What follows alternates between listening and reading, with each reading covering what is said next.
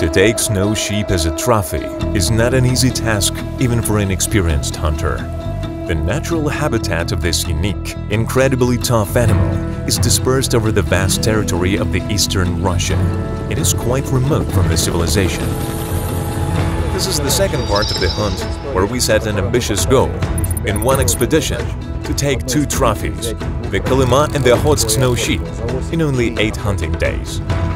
This is a story about how mountains should never be underestimated, about how valuable time is in the unpredictable conditions of the wild hunt, and how luck can turn away from a hunter, leaving him without much desired trophy. Anyway, this story is both informative and interesting. The most important thing I wanted to show in this film is that we have not lost hope and optimism.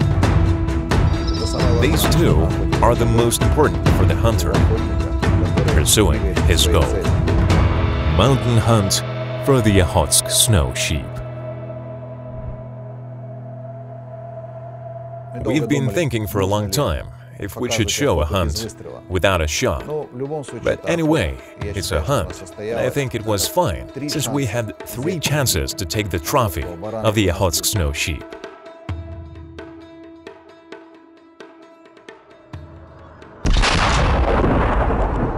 In the first film, Sergei managed to get the first trophy.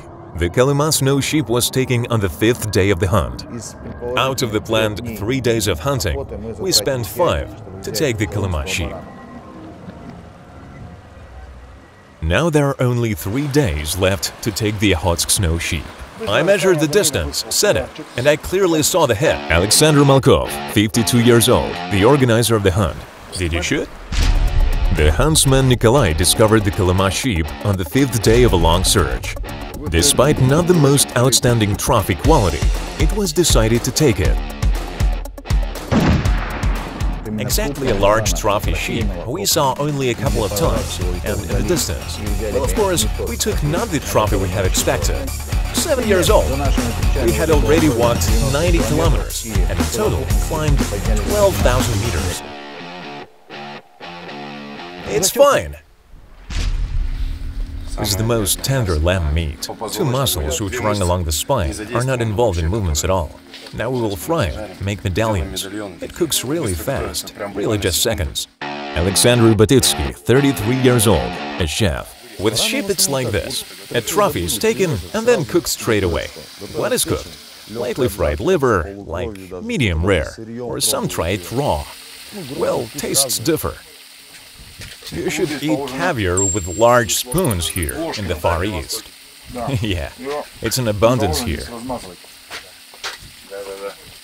This caviar is really fresh. Dmitry Belalupsky, 35 years old, a junior huntsman. They went that side. Yeah, that side and that. Some came here and seven left that side. Now we'll call the helicopter.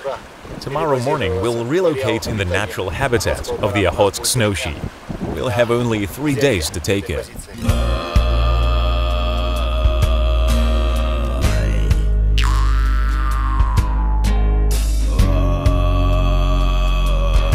The next morning, the team was preparing to be transferred to the habitat of the Okhotsk snow sheep. The helicopter arrived at the scheduled 11 o'clock.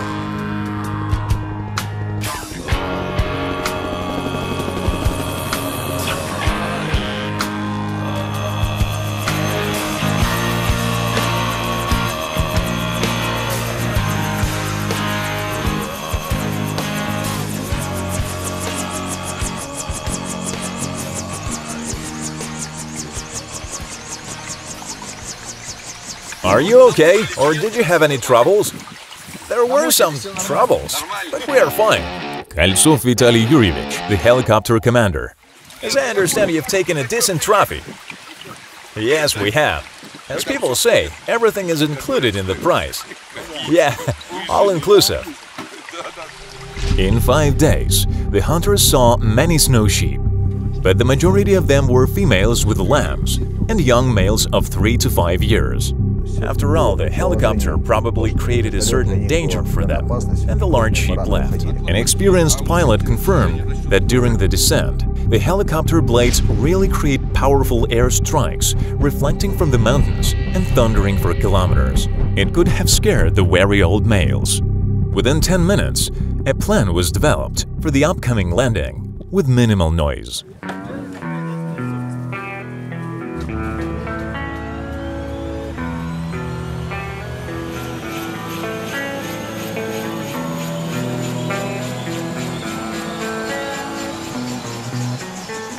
The team will have to fly only about 70 kilometers by helicopter. Despite this small distance, the mountains in the Okhotsk region are strikingly different from the Magadan ones. Instead of gently sloping grass-covered hills, the mountains in these places are mostly steep and rocky, and their foothills are densely covered with numerous conifers. There is an opinion that it is not entirely correct to observe the landing site, but nevertheless, the whole team was watching through the window in order to determine the cut hills. This is the main sign proving that there is the sheep in these places.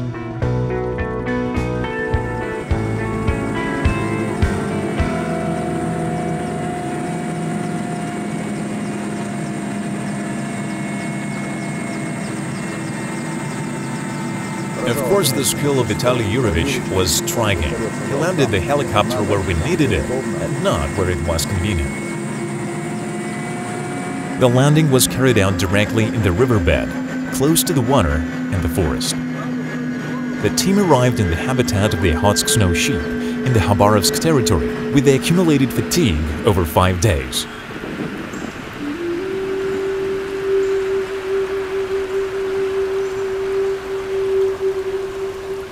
We'll soon have water and firewood, which is very important for the life in the camp. Is everything okay? Fine. Well, I don't know yet. Water, everything. About sheep, we don't know either. The main thing is that there is a lot of firewood. Yes.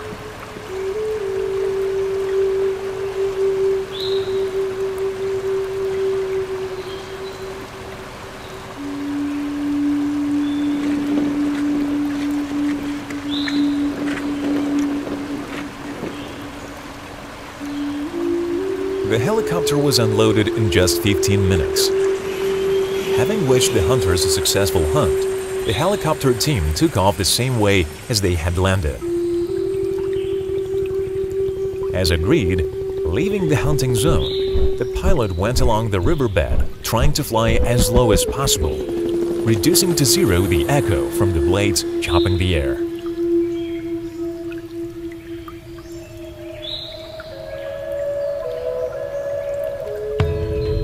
Team started to set up a camp. At the same time, the huntsmen examined the surrounding mountains through binoculars. It was only 2 o'clock in the afternoon, and the team had enough time to make the approach if the right sheep is found. Just 10 minutes later, Dmitry informed us that there were two interesting sheep on the top of the mountain. One was lying, another was standing. The distance here is about one and a half kilometers. Can you see the second one? Yes, I see. Yes, the one that lies is better. It's like a bull. They look the same. Oh, sorry. Let's get ready and go. The ascent is 600 meters. Let's climb, walk along the ridge. And two sheep are there. The horns of a sheep do not twist, but like a bull, they go to the sides. Let's see.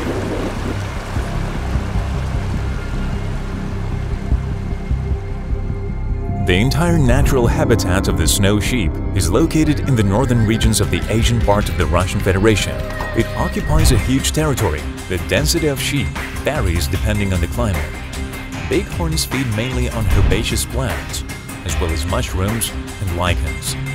Snow sheep are officially divided into four types – the Putorana snow sheep, the Yakutsk snow sheep, the Koryak snow sheep, and the Kamchatka snow sheep. Visually, the species are almost indistinguishable from each other. The main difference concerns the pattern and color of the skin.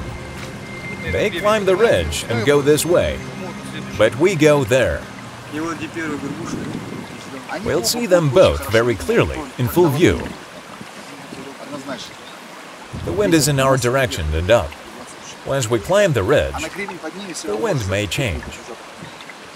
It blows from two sides and up, If we go from the other side, it is not clear whether we will be able to approach or not. We'll pass below them. We won't be able to pass here, right? That way. Okay, let's follow that way. After long discussions, it was decided not to approach the sheep along the ridge, but to walk along the mountains and climb the neighboring ridge. Since both bighorns were clearly visible at the summit, the hunters intended to approach them at about 600 meters, occupy a stable position, and make a shot. And stable stones covering the whole slope were the main difficulty of this ascent. I still suggested going up from the left and taking a position there. What's more, I measured the distance. It was supposed to be about 600 meters. It's quite acceptable. However, the huntsman, for some reason, persuaded me to climb higher. At that moment, stones started falling.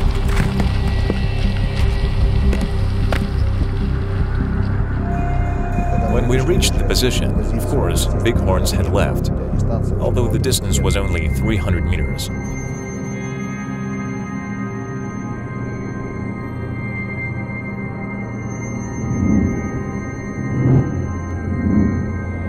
I realized that it was a huge mistake. There was no point to carry this 9 kilogram carbine, a high precision weapon designed for long distances if you come at 300 meters. The huntsmen did not listen to me. They decided to come closer. I don't know why they did it.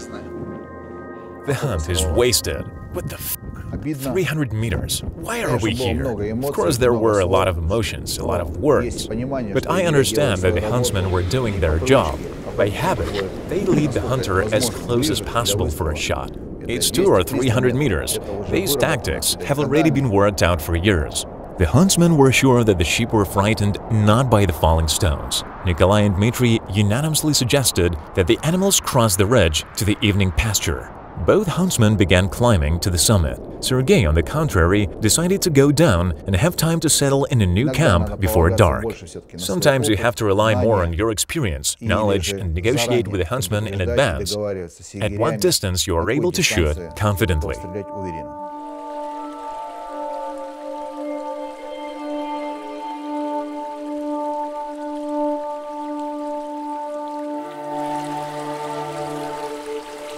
When you finally realize that you are already close to the camp, there is an hour or two of walking left. You allow yourself to drink water, quench thirst. This should never be done during the approach, because the lands become turned to jelly, hard to go. Thus, hunt becomes too dangerous for your body. Most of the mountain water, be it rivers or small streams, is drinkable. Nevertheless, after drinking mountain water, Sergei eats a lemon. Lemon is the strongest natural antiseptic. It neutralizes any infection that has got into the body.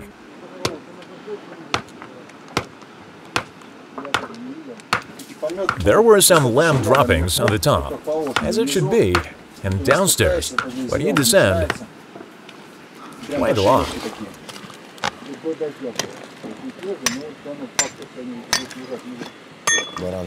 They need a ram, a trophy. Why is everything so sad and thoughtful? Because we are at work here. That is why the organizer worries about everything. The huntsmen do their job well, anyway. They wanted the best. You know the rest. Of course, it's as sad. Sad that it was a really good ram with unusual horns. Tomorrow, let's get up early in the morning at 3 a.m., have breakfast, and set off with the huntsman without delay. It's already light at 4 a.m. I'll cook breakfast earlier. You'll quickly see us off and go back to bed. When I worked here for the first year, it happened sometimes that in the beginning, the hunters couldn't find the sheep because of bad weather or something else. Then we started to cook Russian borscht, and the rams were soon found. Well, today we'll have lamb borscht. It was at twilight when Sergei, watching from the camp through binoculars, saw two grazing sheep. They will lie down now. They were on the left side of the hollow. Now they have crossed it and are going down. Through binoculars, we identify that these were rather big males. But it was impossible to determine the exact distance. The rangefinder built into the binoculars refused to show the distance to the grazing bighorn sheep. But another rangefinder, which can tell a distance of up to 6 kilometers, remained in Dmitri's backpack. We determined by eye that the distance was about 4 kilometers. However, Sergei did not take into account that at dusk, the distance to objects seems to be greater than in reality. It's unnecessary to go far. They are here nearby. As it became dark, Nikolai and Dmitri returned to the camp. Sergei immediately took the rangefinder and measured the distance. 131, not really far. The sheep were much closer than it seemed. I measured that the distance was 2,131. Just 15 minutes separated us from the opportunity to take the Okhotsk snow sheep. Moreover, the slope was insignificant. It was decided to move out to the rams in the morning, as soon as it starts to dawn. At 3 a.m., we need to get up as soon as dawn and immediately go out.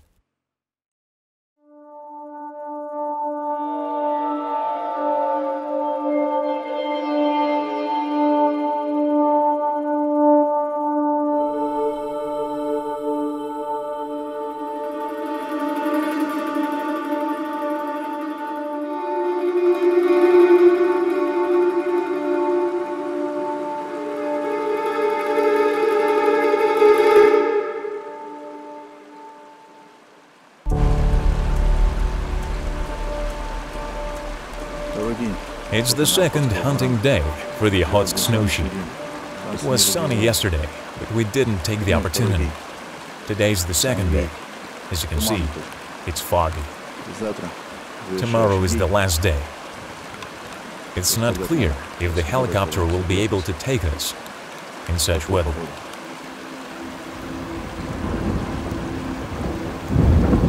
The rain intensified when it turned into a downpour two hours later, it was decided to return to the camp.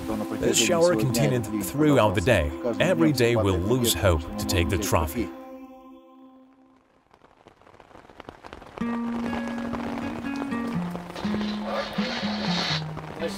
Despite the bad weather, one of the huntsmen spent the whole day in the mountains. Kolya, the base is calling. Nikolai decided to find a trophy sheep by all means.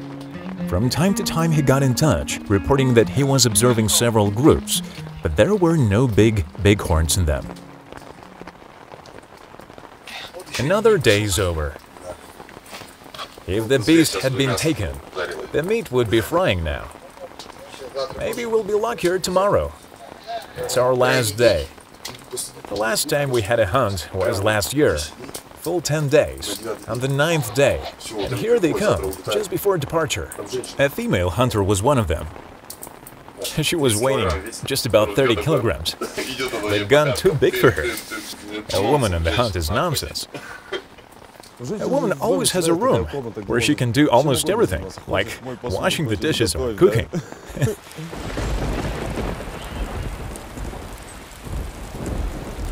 It didn't stop raining even in the evening. Every mountain hunter knows firsthand what rain and fog mean in the mountains. Time at such moments seems to flow infinitely. Here's Nikolai. You're soaking wet. What about hot tea? Come in. Well, the borscht sign didn't work. Something went wrong.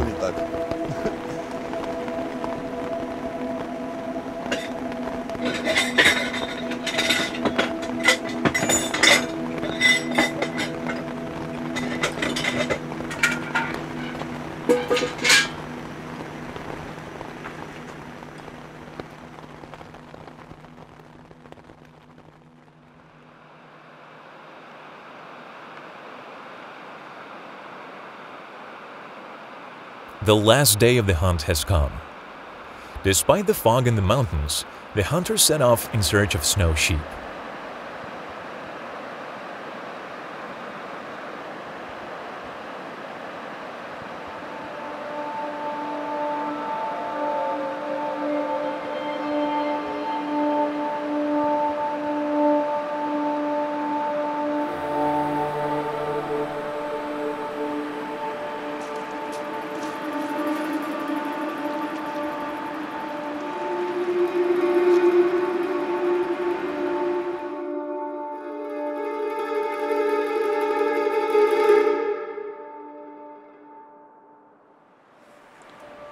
We've seen some fresh footprints. The huntsman saw the footprints both yesterday and the day before yesterday. The sheep is here. Now we're returning to the camp, as the sky is full of clouds. The hunt is very difficult, but unfortunately unsuccessful. Well, anyway, it's a huge experience.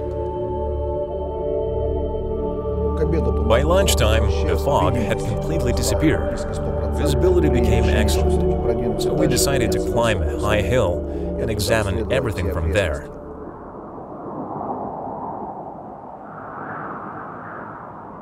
The main mistake that all ambitious hunters face sooner or later is the overestimation of their capabilities and luck. Eight planned hunting days may not be enough to get two worthy trophies, especially on such difficult food hunts. It was already the eighth day of the expedition, and more than 120 kilometers traveled made themselves felt. We climbed a high hill, really high. Mountain on the left and mountain on the right. They connect. Bighorns could not be found. Despite this, the places here were ideal for snow sheep. Empty beds, as well as females with lambs walking here and there, served as a good evidence of this. They are lying well. After about an hour of observation, Alexander got in touch. He reported that Dmitry had good news. Dmitry told Alexander on the radio that he was observing four sheep, which were of interest as trophy. It was decided to go to the camp before joining Dmitry, because the hunters needed time to relax and have lunch before the final attempt to take a trophy. We have walked 130 kilometers. The sky is clear, the sun's shining. Tomorrow morning the helicopter will fly. Well, now or never, it's the last chance to take the Okhotsk sheep. The huntsmen have seen four sheep. One of them may be a trophy. This time Alexander, the organizer of the hunt, took on the role of a guide. The hunters had to walk about 6 kilometers from the camp to the position of Dmitry.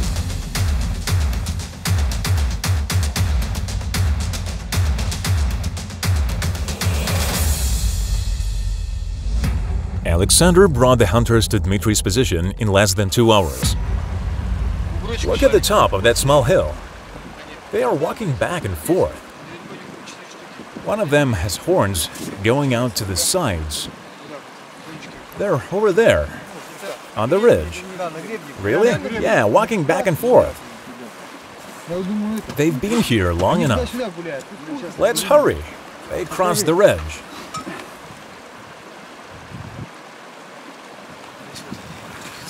Can you see anything? Yeah. Over there. They are having fun, fighting. Some of them quite young. Moving back and forth.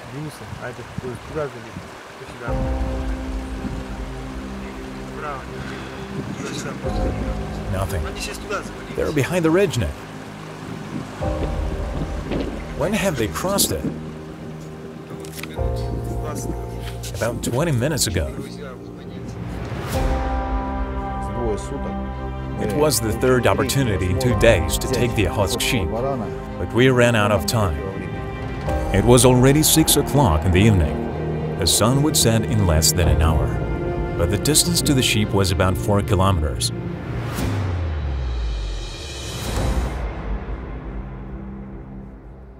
Returning to the camp, the hunters could observe groups of bighorns, but made only of females and lambs but not a single trophy adult male sheep was among them.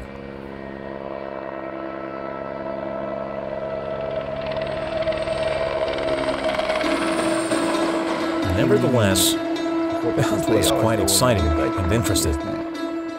We saw the sheep. We had some chances to take it. The organizers did their job well. I would like to note the high standard of living that Alexander organized for us. The service was excellent. Our chef Alexander served us excellent breakfasts, lunches, and dinners.